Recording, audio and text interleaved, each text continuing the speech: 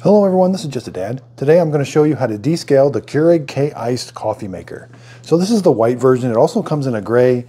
They're exactly the same how you descale them. So in this video, I'll be using the Keurig descaling solution. So if your descale light is on, there's one way to get it out. We have to put it into a special descaling mode. Now I do like using the Keurig solution. It is citric acid. Now the directions for it, if you peel this back, you'll find some directions, but unfortunately there's not any directions for this specific coffee maker. Okay, so around back in the water reservoir, you may or may not have a carbon water filter. You don't have to have one for this coffee maker to work, but if you do, we're gonna remove it for the duration of this process. Go ahead and empty out your water reservoir and make sure there's not a cake up in here. So we're gonna leave this empty up here now during this process, you want to make sure the add water light comes on during this process because there's a logic board inside that needs to see that add water light so that it will go to the next step. You're going to first run the solution through, then you're going to do fresh water rinses. Now sometimes there is an over, there's a thermostat on the heating element and sometimes it does trip during the descaling process. I have another video how to open this up and we can reset that but while we're doing this process, we want to let it rest for about 30 minutes. We're going to run the solution through it. We're going to let it rest for about 30 minutes, and then we're going to do our fresh water rinses. Okay, so let's put the Keurig descaling solution in. It's 14 ounces. You're going to dump the whole bottle in here. And then you're going to take this bottle over to the sink filled up with water all the way to the full mark and dump it in. Okay, so I've got this filled up with water. This is going to give us our 50 to 50 ratio, one to one ratio. Okay, so we're going to be following the descale procedure in the quick start guide. Here it is the procedure we're going to be following. Now they recommend descaling this every three months or when the descale light comes on. Okay, so there's a very important step. To put the machine into descale mode, it has to be powered down. You want to make sure it's plugged in, but you want it powered down. Now it powers down after five minutes, or you can unplug it, plug it back in, but if you open this lid or something, it's going to power it up automatically. Then you're going to have to wait five minutes. So make sure none of these lights are on. It's plugged in. Now we can put it into the descale mode. Okay, we're simply going to hold the 8 and 12 ounce button together, but make sure you can see this is going to start flashing. We're going to hold those together at the same time. Okay, see how the descale is flashing and the 12. Now get your cup of water. It's going to dispense hot water or that descaling solution or the vinegar. And now to activate it, you're going to press the 12 button. It's going to run 12 ounces of the solution through the machine. And again, be careful, it will come out hot.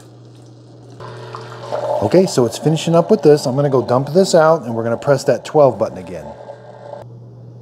Okay, so on mine, the add water light came on. I would have thought I would have got one more run out of it, but my add water light is on. If you may get one more where you have to press that 12 button again and it may run your tank down a little bit farther.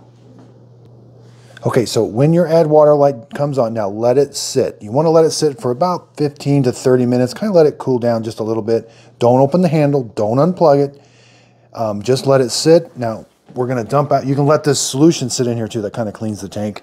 Now I'm to take this over. I'm to dump this out and I'm to rinse this out with water and fill it all the way up with fresh water. Okay, so I've got this filled up with fresh water. As soon as you put it back on, the add water light's going to go out. And then the 12 is going to start flashing again. Now we're going to press the 12. Again, this is a fresh water rinse. But it's very important that it never comes out of descale mode. If it does come out of descale mode or you hit a glitch, you're going to have to unplug it and start all over again. Now, the next time you start, you can just use fresh water. Use that proper amount, 14 ounce, 14 ounce and then put it in descale mode and you can complete it because you got to complete the logic inside of having a, that add water light come on and then doing the fresh water rinses and then it will turn the descale light out. And then with these fresh water rinses, it's going to come out of descale mode automatically. We're going to run this. We're going to press the 12 again, dump that out until the add water light comes on. Now when the add water light comes on, this next time it'll come out of descale mode.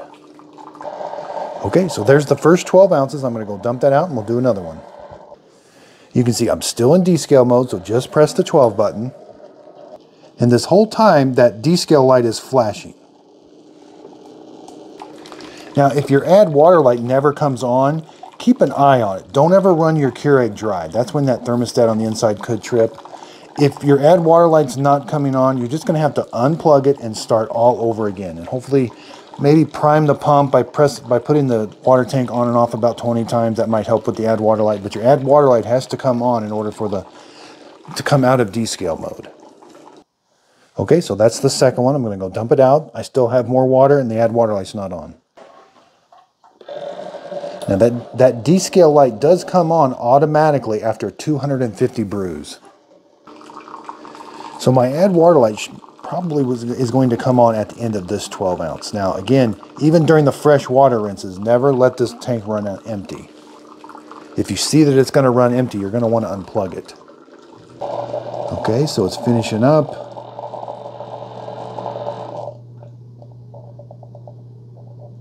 Okay, my add water light did come on. Now I haven't come out of descale mode, so I got to fill the water tank up with water.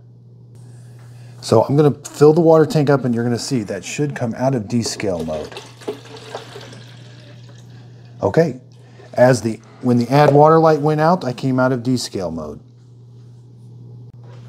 Okay, so uh, for some reason mine did not come out of descale mode. So yours may or may not come out of descale mode.